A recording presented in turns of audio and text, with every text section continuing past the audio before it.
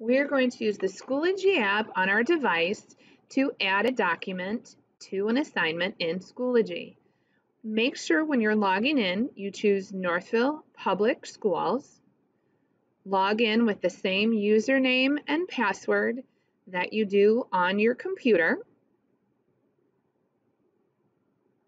And press the Log In button.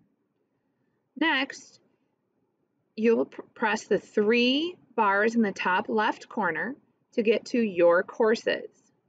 Then choose the course for which you'd like to upload a picture.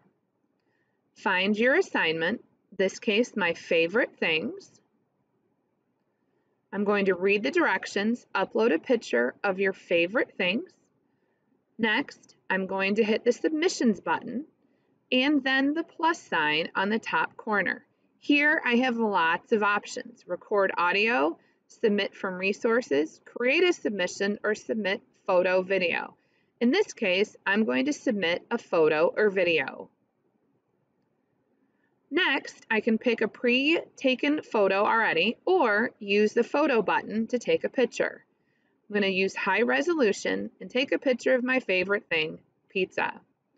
I'm going to use this photo and then click the check mark in the top right corner. From there, the media is going to upload. This might take a little bit depending on the size of your file. Once it's done, you'll be able to add it to your submission.